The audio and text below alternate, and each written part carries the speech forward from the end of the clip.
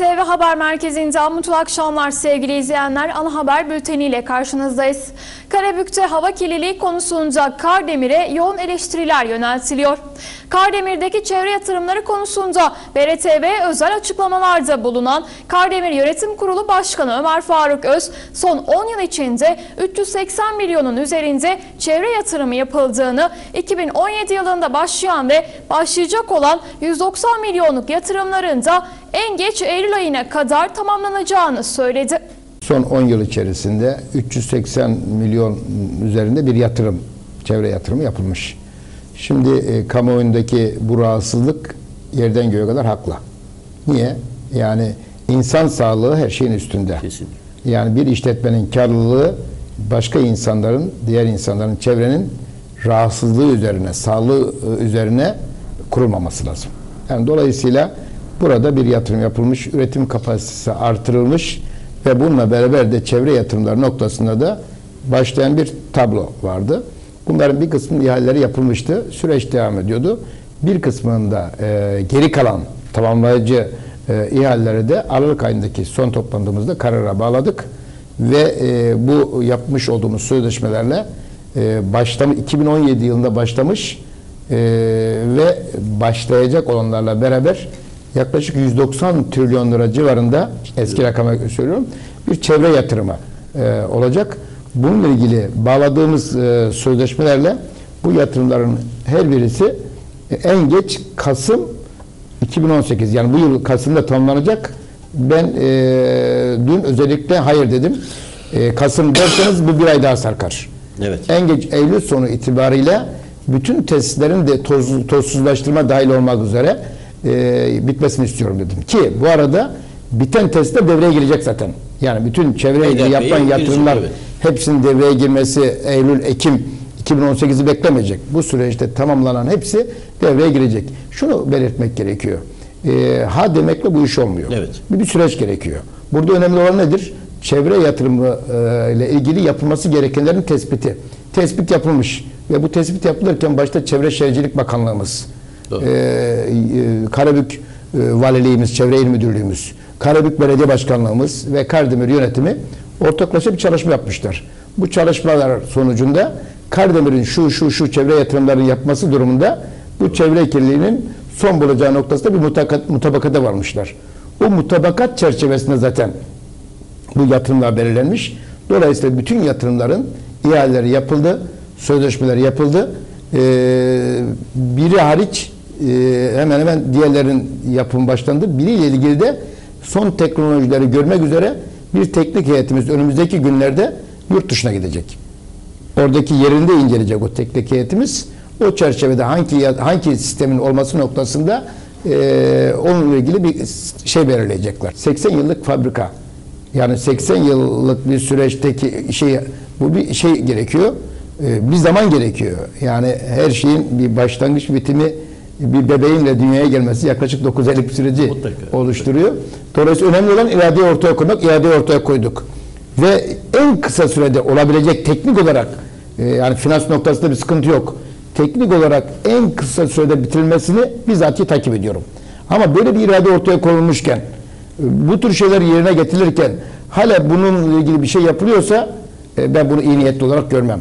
Bu bir. İkincisi belli günlerde çevre kirliliğinin arttığı günlerde manipülatif bir şey var mı yok mu dediğini bir inceleyin. İş denetim birimine de görev talim- talimatı verdim. Dedim ki arkadaşlar dahili ve harici bir manipülasyon var mı? Bakalım. Evet. Çünkü soruyorum e, kullandığımız kömürde bir değişiklik var mı? Yok. Kullandığımız cevherde bir değişiklik var mı? Yok. Peki nasıl oluyor? Şimdiye kadar olmamış çevre kirliliği aniden niye böyle oldu?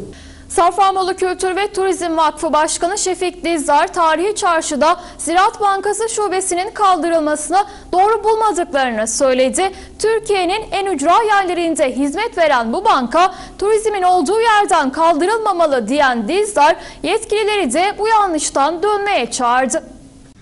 Safranbolu e, turizminin başlangıç noktası e, tarihi kentler birliği içerisinde mütalaa edilmesi Safranbolu şehir bölgesi yani çarşının bulunduğu bölgesindeki tarihi evlerin e, topluca muhafaza edilmiş olmasına bağlı bulunmaktadır. Şimdi çarşı esnafı e, bütün e, banka işlemlerini bu banka şubesinde görüyordu. Pek yüksek olmasa da bütün emekliler maaşını oradan alıyor. Turistler döviz işlemlerini orada yaptırabiliyorlar. Ee, yani bir turizm olur da banka olmaz mı? Bu herkesin yadırgıyor ve e, Ziraat Bankası'nın zaten e, Türkiye e, satında en ücra yerlerde bile devlet memurlarının maaşını alabilmeleri için e, hizmet verdiği bir ortamdan buralara geldik. Dolayısıyla çok lüzumlu bir banka idi. E, Kıranköy kapatılsa bile aşağısının durması gerekirdi. Kaldı ki orada bir sağlık hizmeti alınabilecek bir eczane yok. Bu da çok yadırganıyor. E, bir, bir yanlışlık oldu zannediyorum. İlgililere intikal ettirdik. Buna bir çözüm bulacaklarına inanıyoruz. Yakında bir çözüm olacaktır. Safranbolu Kaymakamı ve Belediye Başkan Vekili Fatih Mezler Devlet Su İşleri tarafından ilçede yapılan çalışmalarla ilgili bilgi verdi. Ürkmezler Hızar kaynağından getirilen suyun arıtılacağı yeni tesiste süren çalışmalar nedeniyle bazen su kesintisi yaşandığını ifade etti. Çalışmalar bitince bu sıkıntının da sona ereceğini söyledi. Devlet su işlerimizin bir yaptığı bir yatırım var. 26 milyon 980 bin liralık. Yaklaşık 27 milyon liralık bir yatırım. Ee, bizim Safranbolu'nun 3 ana kaynağı var. Hızar kaynağı, Karasu ve Bulak kaynağı. Şimdi Karasu'dan biz e, basıyoruz yukarıya suyu. Hızar kaynağı cazibeli geliyor. Şimdi o Hızar kaynağı dediğimiz kaynağı devlet su işleri borularını yemliyor. Oradaki asbestli borular çıkıp yerine çelik borularla suyu getiriyor. Nereye getiriyor? Devlet su işlerini yeni yaptığı e, arıtma tesisine getiriyor. Şu anda belediyemizin arıtma tesisi var, yetersiz. O arıtma tesisine buraya su geliyor. E şimdi bu arada vatandaşlarımız geçtiğimiz dönemde su kesintileri yaşadılar. Ama şunu bilsin vatandaşlarımız. Bu kesintilerin sebebi bu çalışmalardı çoğu.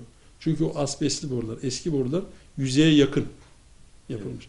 O orada e, araçlar çalışırken o borular zarar görebildi. Bundan kaynaklanan su kesintilerinin olduğu. Bir de plan su kesintileri oldu. Neden? Çünkü o boruyu çıkıp yerine çelik borunun konması gerekiyor. gerekiyor. Mutlaka yani. kesilmesi gerekiyor. Ama sağ olsun vatandaşlarımız şunu söyleyeyim. Planlı kesintilerde zaten diyor ki ya biz suyu kesilmesini bilelim. Ben de bir vatandaş olarak aynı şeyden ben de şikayet ederim.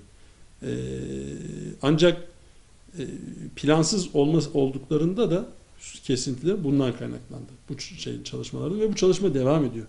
Şimdi o e, ana kaynaktaki e, çelik boruların yerleştirilmesi süreci bitti. Ancak şimdi şehir içine giriş ve altı deponun var. 2019 yılına kadar bu çalışma devam edecek. Ama ben şunu söylemek istiyorum. Şimdi vatandaşlarımız şunu bilsin. Bizim belediye olarak, devlet su işleri olarak ve valilik olarak vatandaşlara biz bunları duyuruyoruz. Aslında bu işleri takip eden insanların bundan da haberi var. Ancak bazı insanlar sanki bu işten haberi yokmuş gibi, sanki yeni olmuş gibi e, bunu kullanmaya çalışıyor. Lütfen ya herkes bunu takip etsin. Önemli değil. Ama bu insanlar neyin ne olduğunu biliyorlar. Bunu başka bir amaçla kullanmaya çalışıyor. Ben onları da biliyorum. Arkadaşlarımız da biliyor onları. O ayrı bir şey. Vatandaşlarımız bir soru olduğunda bize iletsinler. Ben onları hepsini açıklarım durumu. Ve, ve bizim vatandaşlarımız devletine saygılıdır. İş yatırımın gelecekte asbestli bordan değil, çelik bordan su içeceğini bilirse Evet. su kesintisine göğüs gerer. Ama bunu alıp başka bir yere çekmenin anlamı yok. Onu vatandaşlarımız dikkat etsinler. Çünkü eee, doğru bilgi edinmek istiyorlarsa biraz önce de söyledim. WhatsApp hattımız var. Bir de halk toplantılarımız var. Batı Karadeniz Kalkınma Ajansı Genel Sekreter Vekili Elif Acar, 10 Ocak Çalışan Gazeteciler Günü dolayısıyla Karabük, Zonguldak ve Bartın basın mensuplarını kahvaltıda ağırladı. Bakka binasında basın mensupları ile bir araya gelen Elif Acar, Bakka'nın projelerini anlatan bir sunum yaptı. Acar bundan sonra basına çalışmalarımız daha fazla olacak dedi. Çok sıkı tutmak istiyoruz. Bu aslında bizim e, öz eleştiri yaptığımız bir konuydu. E, fazla iletişim kuramadık biz sizle. Ama bundan sonra e, daha fazla haberlerle ve inşallah daha fazla iyi işlerle sizle iletişimimizi devam ettireceğiz. Tabii şimdi basın mensupları olarak, kurum olarak biz size e, bize en çok sorduğunuz şey nasıl destek olabiliriz? Size ne, ne gibi katkılar sunabiliriz?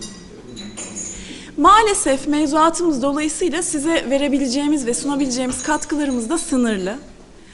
Ee, gazeteciler cemiyetimizle biz bir teknik destek yapmıştık. Bizim mevzuatımız açısından size eğitim ve danışmanlık desteği sağlayabileceğimizi ben size söylemek istiyorum. Ee, kurumsal kapasitenizi arttırıcı yönde bizden her türlü eğitimi talep edebilirsiniz ve bu kapsamda biz de size eğitim verme konusunda destek oluruz. Ya da danışmanlık da talep edebilirsiniz. Danışmanlık konusunda da biz size destek oluruz. Bunun dışında da e, biz sizi haberlerle besleyebiliriz. Yaptığımız işleri size duyurarak besleyebiliriz. İnşallah bu tarz organizasyonlarda dertleşerek e, sizi besleyebiliriz. Ee, onun dışında zaten e, yine sizlerin bizden taleplerini de alacağız. Olabildiğince de bunları gerçekleştirmeye çalışacağız. Ee, bugün burada olmamızın sebeplerinden bir tanesi de e, Batı Karadeniz Kalkınma Ajansı olarak e, 2018 yılı proje teklif çağrısını ilan ettik. Proje teklif çağrısı kapsamında iki tane farklı mali destek programımız var. Bunlardan bir tanesi küçük ölçekli altyapı mali destek programı bütçesi toplamda 12 milyon lira. Bir diğeri de sosyal kalkınma mali destek programı bütçesi de 8 milyon lira. Bu mali destek programlarıyla e, Zonguldak, Karabük ve Bartın'da yer alan kar amacı gütmeyen kurum ve kuruluşlarımıza hibe desteği sağlamayı amaçlıyoruz. Küçük ölçekli altyapıda turizm altyapısını destekleyeceğiz inşallah ve alternatif, alternatif turizm imkanlarını desteklemeye çalışacağız. Proje başına maksimum 1 milyon liraya kadar verebiliyoruz. Ee, ve projelerin yüzde 75'ine kadar destek olabiliyoruz. Diğer kalan kısmını başvuru sahibinden talep ediyoruz.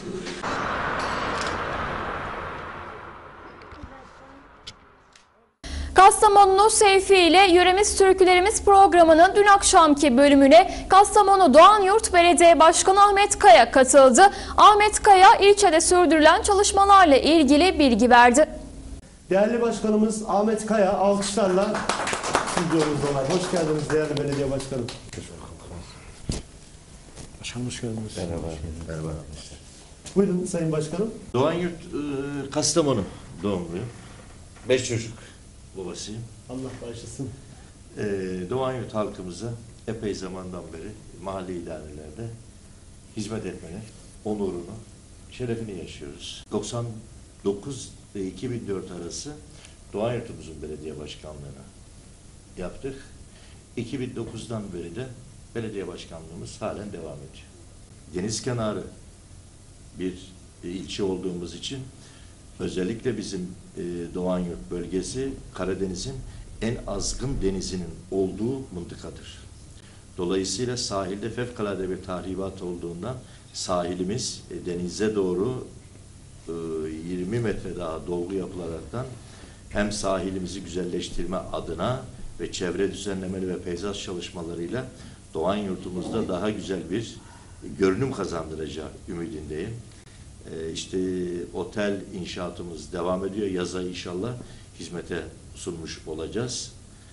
Bunun yanında da bir de bizim marka yolunda emin adımlarla ilerleyen şu anda patentini almış olduğumuz kestane balı ve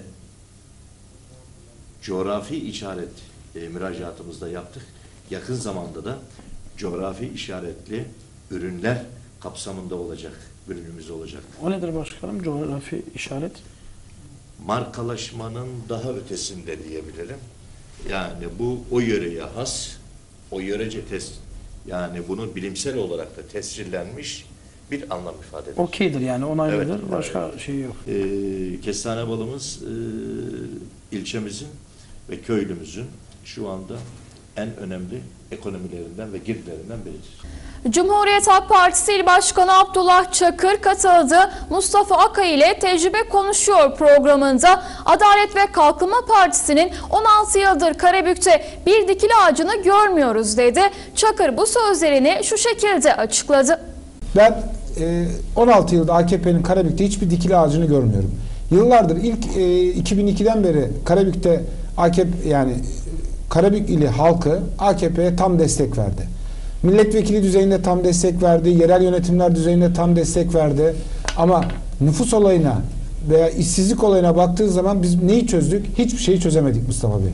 16 yıldır bizi Filyos Liman projesiyle anlattılar. Her seçim gündemde ıslana ıslana Filyos Liman Projesi gündeme geldi. En son e, sizler de duymuşsunuzdur. İşte liman projesi hazır. Temelini attık. Herhalde bir iki seçim daha geçiririz biz liman projesini faaliyete geçesiye kadar. Tabi bekleyeceğiz, göreceğiz. Evet. Bununla beraber işte yıllardır kayak tesisleri o da herhalde şimdi belli bir yaşama ya- yapılma aşamasına geldiği söyleniyor. Havadan Fakat e, ne olacağı belli değil. En son seçimlerde Karabük'te değişik projelerle iktidar gündeme geldi. Dedi ki Karabük için havaalanı dediler. Organize sanayi bölgesi dediler. İşte Karabük'ü rahatlatacak eski pazar organize sanayi bölgesi dediler. Hatta e, en sondan başlayayım ben. E, ilk kongremiz bizim 24 Aralık'tı. 23 Aralık'ta da AKP'nin ilk kongresi vardı. E, Sayın Başbakan Karabük'e geldiği zaman herkesin beklentisi, buradaki halkın beklentisi çünkü öyle bir algı yaratmışlardı. Müjde beklendi. Aynen. Müjde beklentisi vardı. E işte otomobil fabrikasının Karabük'e kurulacağını umut ediyordu bütün insanlarımız, halkımız. Fakat ben mi duymadım? Acaba söylemedi mi? Başbakanımız böyle bir müjde vermedi. Başbakan müjde vermedi doğru. Ancak ben şu konuda da özellikle şunu belirtmek istiyorum. Eski Pazar Organize'nin de biz takipçisi olacağız. Eski Pazar Organize ile ilgili çok güzel şeyler söylendi. Ama ne aşamaya gelindi? Bundan sonra ne yapıldı? Onları da birebir takip edeceğiz. Evet, onlar BRTV Yönetim Kurulu Başkan Yardımcısı Osman Çetinkaya, Zonguldak Gazeteciler Cemiyeti Başkanı Derya Akbıyık'ı ziyaret ederek 10 Ocak Çalışan Gazeteciler Günü'nü kutladı. Evet sevgili seyirciler, bugün Zonguldak'tayız. Zonguldak'ta Gazeteciler Cemiyet Başkanımız, yakın dostumuz Derya Bey'i ziyaret ettik. Buraya gelip ziyaret etmezsek zaten küser bize. Başkanım merhaba, nasılsınız? Çok teşekkür ederim. Çok sağ olun. Sizi gördük daha güzel olduk. Ee, bugün e, evet. gündem var. Yazıyor 10 Ocağı kutluyoruz. Ee, 9'unda başladı kutlamalar. Bir siyasi parti sabah bizi kahvaltıya aldı. Birlikte olduk. Ee, onun da tekrar bir siyasi partimiz gene kahvaltıya aldı. Aynı zamanda Atatürk anıtına ya iyi temsil eden bir cemiyet olarak çelengimizi koyduk. Saygı duruşunda bulunduk. İstiklal Marşımızı söyledik. Basın bildirimimizi okuduk. Ee, bugün sizlerle de beraberdik. Batı Karadeniz Kalkınma Ajansı uzun zamandır yerel basını ihmal ediyordu.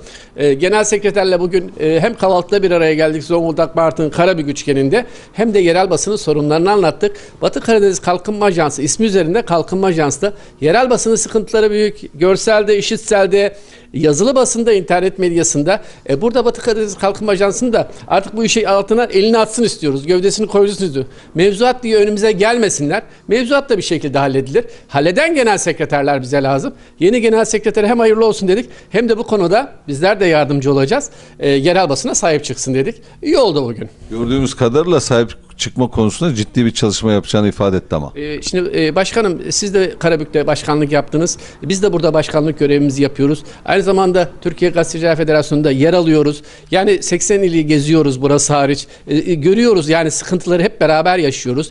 Orada da e, ajansların olduğunu görüyoruz.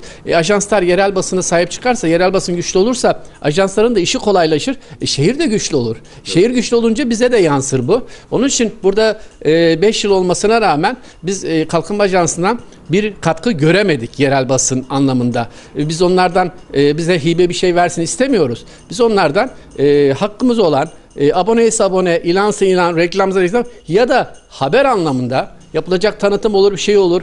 Biz hepsini açığız yani. Hem şehrin gelişimine katkı verir, bölgenin kalkınmasına katkı verir. Yerel basında bundan hak ettiği e, maddi manevi destekleri alır. lazım. Alması lazım. Biz bunu ya bir tek kalkınma ajansı değil, diğer kamu kurum kuruluşlar, özel sektör e, ya da siyasi partiler hepsinde e, yerel basın bütün görevini yapıyorsa onlar da elinden geleni yapması gerektiğine inanıyoruz. Bu anlamda da hepsini biz göreve davet ediyoruz. Evet. Çok teşekkür ediyorum. Ben de e, sizin e, nezdinizde e, Zonguldak'ta görev yapan tüm çalışan gazeteci arkadaşlarımızın bu e, önemli gününü kutluyorum.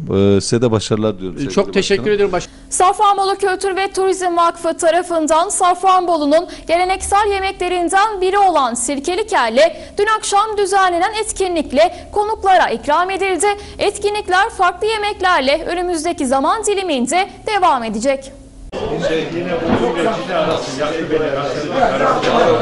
Çorba içmek bahane, arkasından gelecek sohbet şahane olsun.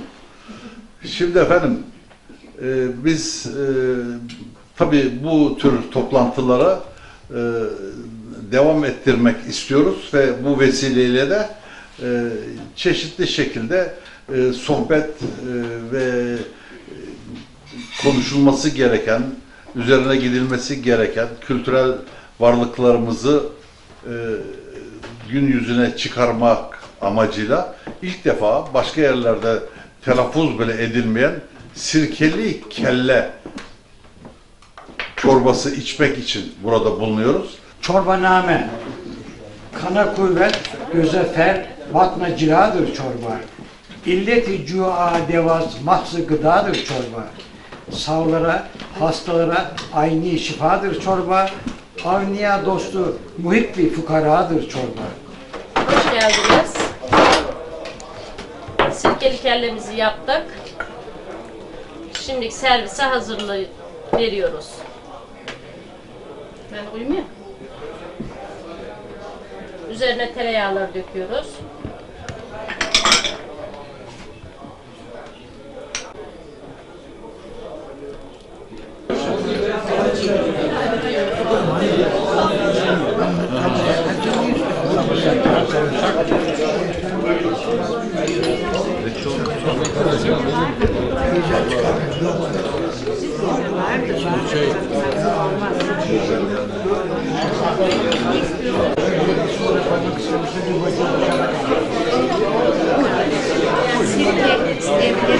Sarımsak varsa sarımsak.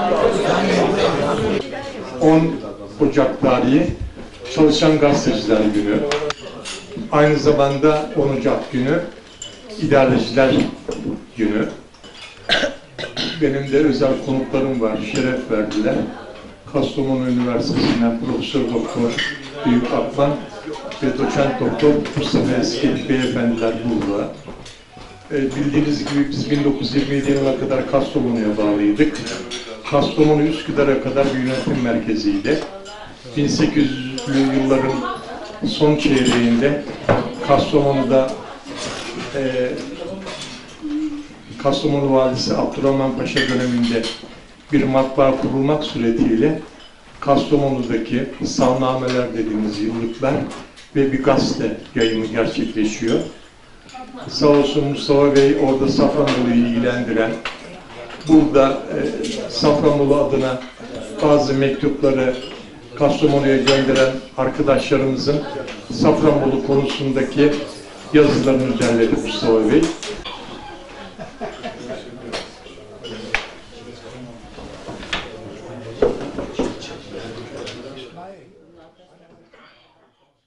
Adalet ve Kalkınma Partisi Yenice İlçe Başkanı Yılmaz Kırık ve ilçe yöneticileri geçtiğimiz gün Ankara'da Karabük Milletvekilleri ve Çevre ve Şehircilik Bakan Yardımcısı Mehmet Ceylan'ı ziyaret etti. Ziyaretin ardından Yılmaz Kırık bilgi verdi. Ee, Dün e, Türkiye Büyük Millet Meclisi'nde belki değerli büyüklerimiz, vekillerimizi ziyaret ettik. Ee, bunun yanında Çevre Şehircilik Bakan Yardımcımız Mehmet Ceylan Bey'i de ziyaret ettik. Yapmış olduğumuz e, ziyaretler neticesinde çok olumlu e, gelişmeler, e, müjdeler verdiler vekillerimiz, büyüklerimiz bize. E, değerli büyüğümüzün e, Yenice için bahsettiği doğal gazla ilgili gerekli çalışmaları yakinen takip ettiğini, ee, yakın zamanda inşallah ilçemizin e, doğal gazla kavuşacağı yönünde müjdeleri oldu. Yine Yenice'de planlanan organize sanayi bölgesiyle ilgili de çalışmaları yakinen sıkı takip ettiklerini, e, yeni Filyos projesiyle birlikte e, bunların da yakın bir zaman içinde e, sürecinin başlayacağını e, söyledi. Yine karayolları ile ilgili Zonguldak Karabük arasındaki e, karayolunun duble yol olması e, sebebiyle projeleri aşamasında olduğunu, yakın süreçte de buradaki çalışmaların başlayacağını e, söyledi. Yine daha önceden girişimlerde bulunduğu Hasankadı Bartın arasındaki yolun da projelerin bitme noktasında olduğunu e, bizlere söyledi. Yine yaşlı bakım merkeziyle ilgili yer tahsisi sorunlarımızı hemen çözdük. Ee, geçenki ziyaretlerimizde Sosyal Politikalar Müdürümüzü Galip Bey de makamında ziyaret ettik. Bu dosyada şu an %90 itibariyle hazırlanma hazırlandı. Ee, bakanlığa sunulacak. Burada da vekillerimiz, değerli büyüklerimiz de bakanlıktan bu olayı sıkı bir şekilde takip edeceğini, ilçeye böyle bir sosyal hizmet binasında kazandırılacağı yönünde sözlerinde vermiş oldular. Karabük Sebzeciler, Balıkçılar, Kasaplar ve Pazarcılar Esnaf Odası Başkanı Cuma Kara 15 Ocak Pazartesi günü düzenlenecek olan genel kurulda yeniden aday olacağını açıkladı. Kara tüm esnafları ve Karabük halkını genel kurula davet etti. Değerli arkadaşlar, öncelikle hoş geldiniz, sefa geldiniz. Ee, öncelikle dün itibariyle 10 Ocak Gazeteciler Gününüzü kutluyorum. Rabbim doğru haberlerle, doğru iletişimle sizlere yar ve yardımcınız olsun. Ee, bizler de inşallah e, Karabük Sebzeciler, Balıkçılar, Kasaplar ve Pazarcılar Odası, Esnaf Odası olağan genel kurulunu bugün açıklama ihtiyacı duyduk. Sizleri çağırdık. Allah izin verirse e, ayın 15'inde 15 Ocak e, Esnaf Kefaret Binası e, da salonumuzda e, genel kurulumuzu yapacağız. Saat 11 itibariyle 11 itibariyle tüm esnafımızı Karabük halkını davet ediyoruz. Bizler de inşallah bir hizmet, bu hizmet yolunda e, tekrar yolumuza devam etme kararı aldık. İnşallah adaylığımızı burada da açıklamış olalım. E, süreç devam ediyor inşallah. Şu ana kadar e, başka bir adayımız odamızda yok. Teşekkür ediyorum arkadaşlar. Bartın Üniversitesi Rektörü Orhan Uzun sosyal medyadan kendisini kestane yemeye davet eden öğrencileri evinde ziyaret etti.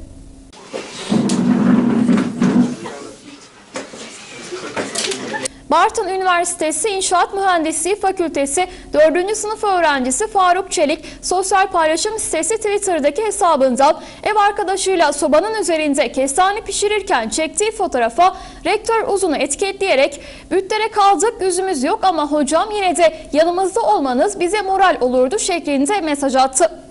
Rektör Uzunca Çelik'in paylaştığı fotoğrafa moral bozmaya gerek yok. Şimdi daha çok çalışıp notlarınızı yükseltin. Bütünleme sınavlarınız bittiğinde çayınızı içmeye, sınav notlarınızı görmeye ziyaretinize geleceğim yorumunu yaptı. Sınavların ardından öğrenci evini ziyaret eden Rektör Uzun öğrencilerle kestane yiyerek sohbet etti. Bölümdeydin sen kızım. İnşaat. Kaçıncı sınıf? Faruk Çelik Twitter'dan bir mesaj paylaştı. Ee, Kestaneleri e, sobanın üstünde kestanelerle birlikte hocam yanımızda olsaydınız mutlu olurduk diye. Bütünlemeye de kalmışlar. Biz de bütünleme e, sınavlarında başarılı olursanız e, geleceğime dair söz verdim. Onlar da bütünleme sınavlarında başarılı oldular. Belki bu bizim e, bütünleme sınavında başarılı olmanız durumunda geleceğim eğer onların başarısında da e, e, ders çalışmalarında daha ileri noktalara gelmelerinde bir motivasyon aracı olduysa onda da çok büyük mutluluk duyuyorum. Öğrencilerimiz bizim için, e, üniversitemiz için, Bartın için, ülkemiz için çok önemli, çok değerli. E, onlarla bu üniversiteyi daha yukarıya taşımak için, daha yukarılara taşımak için her alanda onlarla birlikte olmaya devam edeceğiz. Onlardan beklentilerimiz de e, kendilerini, kendileri kişisel gelişimlerini kendilerini geliştirirken üniversitemizde de üniversitemizde onlarla bir, birlikte büyümesi ve gelişmesi olacak. Nasıl? Peki. İyi akşamlar hocam. Bütlere çalışırken, e, arkadaşlar ders çalışırken, kestane yaparken e, rektör hocaya e, tweet atalım diye onu davet edelim diye düşündük. Böyle bir şey yaptık. Daha sonradan rektör hocamızdan dönüş alarak e, bütlerin bitişi, sınav bitişi geleceğini ve bildirdi ve geldi. Evimize misafir oldu ve bunun için çok mutlu olduk ve şaşırdık. Yani kendisine teşekkür ederiz. 37 yaşındaki vatandaş bir süredir valiliğin bahçesinde çeşitli yollarla intihar girişiminde bulunuyor. Geçtiğimiz günlerde camdan atlamaya çalışan kişi bugün de bahçede kendini yakacağını söyledi. Karabük'te kömür yardımı alamadığını ileri süren 37 yaşındaki Yunus G. geçtiğimiz günlerde valiliğin 4. katındaki pencereden kendini sarkıtıp intihar girişiminde bulunmuştu. Polis Yunus G'yi ikna ederek aşağı indirmişti. Aynı vatandaş bugün de kendini yakacağını söyleyerek intihar girişiminde bulundu. Olay yerine önlem amacıyla ambulans ve itfaiye ekipleri geldi. Yunus G. kömür yardımı almak istediğini tekrarladı ve görevliler tarafından ikna edilerek kendini yakmaktan vazgeçti.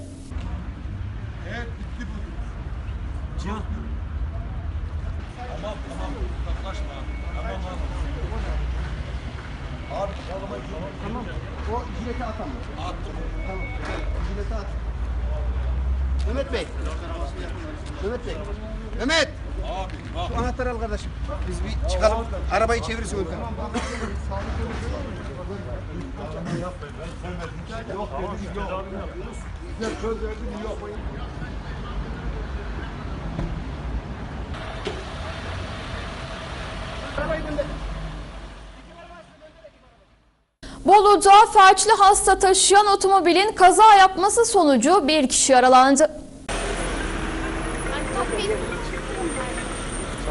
Alınan bilgiye göre felçli olan 78 yaşındaki satılmış Özkan, sağlık kurulu raporu alınabilmesi için yakınlarınca station tipi otomobilin arka koltukları yatırılarak genişletilen bagaj bölümünde İzzet Baysal Devlet Hastanesi merkez ünitesine götürülmek istendi. Hastanın arka bölümüne yatırıldığı Melih Özkan yönetimindeki otomobil Çakmaklar Caddesi Köprüsü'nde Fikri Sezer İyilik'in kullandığı otomobille çarpıştı. Kazada otomobil sürücüsü İyilik yaralandı. Felçli hasta ve onu hastaneye götürmeye çalışan yakını ise kazayı yara almadan atlattı. Yaralı sürücü 112 acil servis ekibince İzzet Baysal Devlet Hastanesi Köroğlu ünitesi acil servisine kaldırıldı. Felçli hasta da station tipi aracın bagaj bölümünden sağlık ekiplerince çıkarılarak başka bir ambulansa sağlık kontrolünün yapılacağı üniteye götürüldü.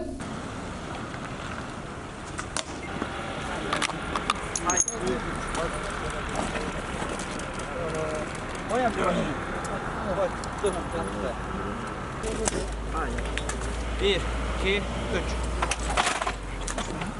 Amca başını koy. Koy başını amca. Herkesin şey.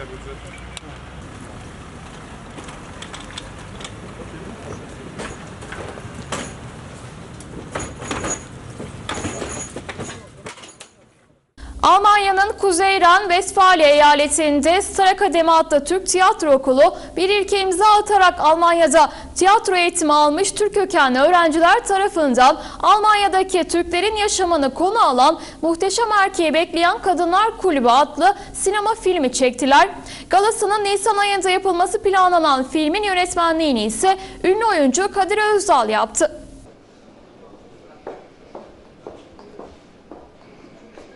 Bu olmadı. Bu, bu Ünlü sinema oyuncusu ve yönetmen Kadir Özdal Almanya'da tamamı bu ülkedeki teknik imkan ve oyuncular tarafından çekilmiş ilk Türk sinema filminin yönetmeni olmak bana büyük keyif verdi. Türkiye'de filmlerde oynamış biri olarak ben de burada yepyeni bir tecrübe ediniyorum. Star Akademi'de tiyatro dersleri veriliyor. Ben de bu hocalardan birisiyim. Gayet özveriyle bir ekip çalışmasıyla iyi bir çalışma yaptığımızı düşünüyorum dedi. Filmin yapımcısı ve aynı zamanda filmde rol alan Metin Aydın ise kendi imkanlarıyla çektikleri Türk sinema filminin bu alanda güzel bir örnek teşkil edeceğini ifade ederek ileride Türkiye'nin tanıtımı için de film çekmek istediklerini belirtti.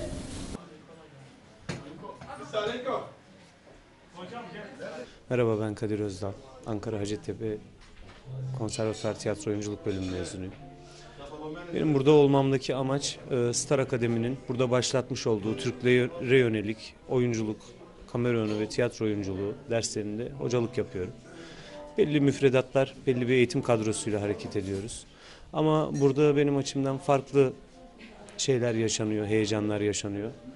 Ee, en önemlisi burada Almanya'da Türklerle buluşuyoruz. Beraber tiyatro yapıyoruz ve bu sefer de sinema yapmayı seçtik. Ee, Türkiye'de çok fazla yaygınlaşmış olan sinema sektörü, dizi sektörü çok ciddi anlamda merak uyandırıyor buradaki insanlarda. Ee, Bu meraklarını gidermek adına hem bu mesleği tanımak, oynamak, öğrenmek, o heyecanlarını, heveslerini tatmin etmek adına belirli çalışmalar yaptık.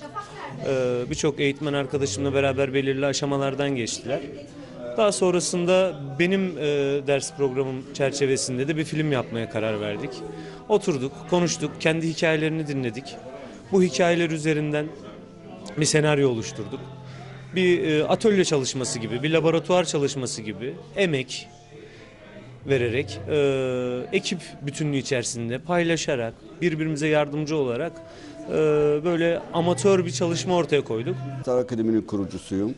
Ee, Star Akademi birinci sezon öğrencileriyle çekmiş olduğu e, Muhteşem Erkeği Bekleyen Kadınlar Kulübü adlı filmimizi gerçekleştirmiş olduk. Kulüp imzada e, finalimizi çekmiş olduk. Haftalardır emeği geçen kamera önü, kamera arkası e, tüm dostlarımıza, sponsorlarımıza hepsine teşekkür ediyorum. E, Kadir Özdal hocamız, hocalarımızdan biri yönetmenliğini yaptığı ve senaryo, senaryosunu yazdığı e, Muhteşem Erkeği Bekleyen Kadınlar Kulübü adlı filmimize herkesi izlemesini beklerim. Teşekkür ediyorum.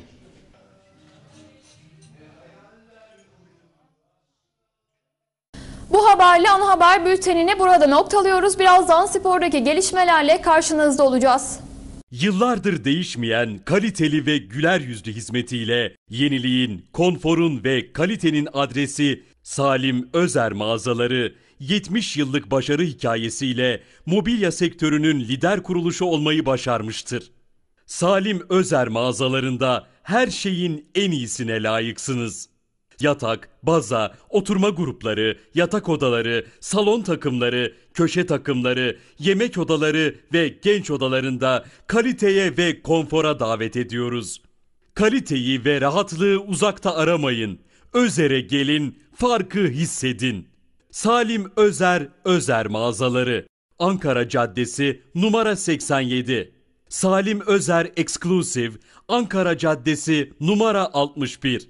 Telefon 0370 424 2736 0370 424 2230. Sporun ve sporcunun tek dostu özel mağazaları spor haberlerini sunar.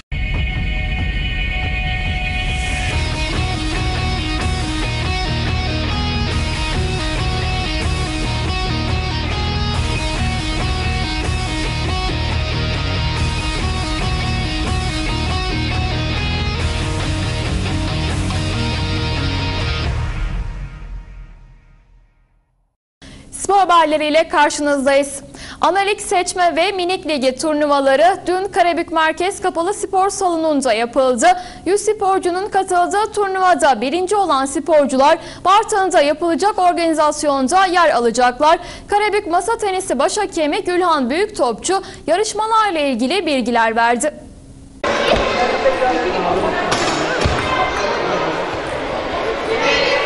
Şimdi müsabakamız öncelikle analik seçme müsabakası. Asıl e, müsabakamız o. 17-18 Şubat'ta Bartın'da e, ilimizi temsil edecek çocukları seçiyoruz. 4 tane sporcumuz Karabük'ü temsil edecek. Onu seçme müsabakası ayrıca miniklerin de minik kız erkek e, hazırlık müsabakası yapılıyor şu anda. Yüzden fazla sporcumuz katıldı. 3 gün devam edecek. Bugün ve cuma gününe kadar e, okuldan çıkan çocuklarımızla müsabakaları yapıyoruz. Gayet güzel gidiyor. Hocam bunların hepsi e, genelde çocukların hepsi e, sizin kendi öğrencileriniz mi? Yo benim de var. E, Safranbolu'dan e, sporcularımız var. Başka hocalarımızın e, Kapılı'dan e, çocuklarımız var. E, hemen hemen Karabük'ten, Eflani'den var. Onlar birkaç gün sonra gelecekler. Her ilçemizden hemen hemen her e, semtimizden çocuklarımız var. Kaç gün sürecek? Bugün Üç son gün mu? sürecek. Üç gün sürecek, Üç gün evet. Devam. Yarın da devam. Yarın da devam. Hepsi birbiriyle yarışıyor. Lig usulü yarıştırıyoruz. En iyi olanı seçeceğiz inşallah. Kendi öğrencilerim de var dediğim sporları- gibi. E, okul sporları sabahtan oldu. Genç erkek müsabakalarımız. 22 tane okulumuz katıldılar genç erkeklerde. Onlar yarışıyorlar zaten haftaya salı gününe kadar devam edecek. Orada da il birincisi seçeceğiz. Bunlar ferdi olarak yarışacaklar.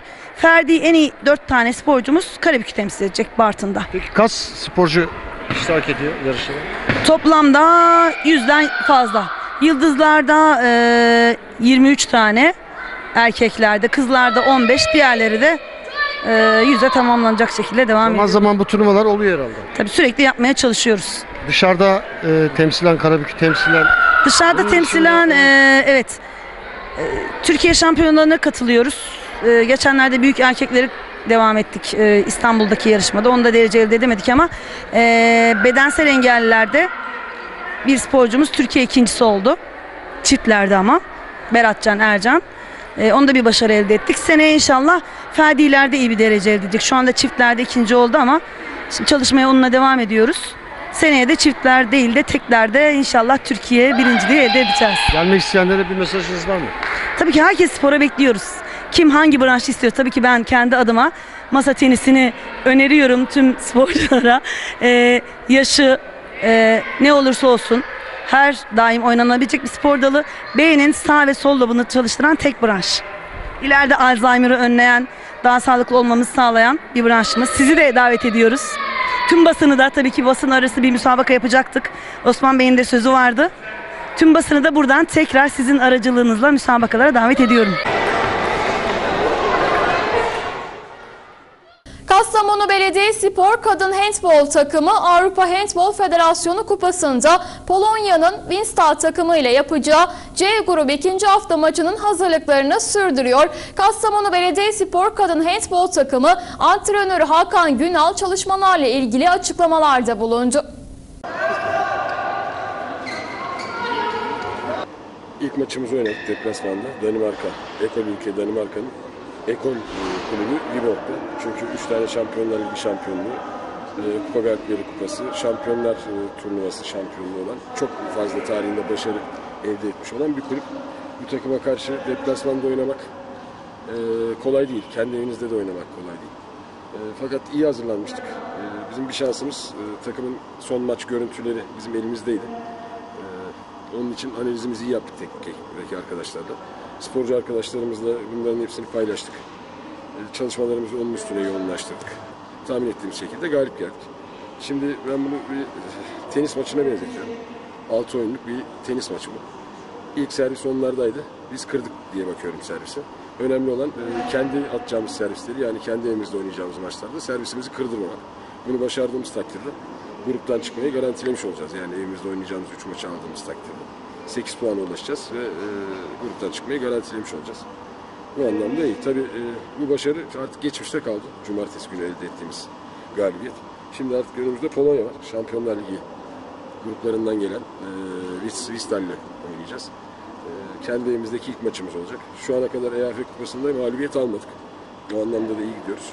Kendi evimizde de bu seriyi sürdürmek istiyoruz. E, dünden itibaren çalışmalarımıza başladık.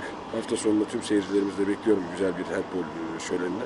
Ve bu müsabakadan da galip ayrılarak tekrar Türkiye'de e, ilkleri yaşatmaya devam etmek istiyoruz.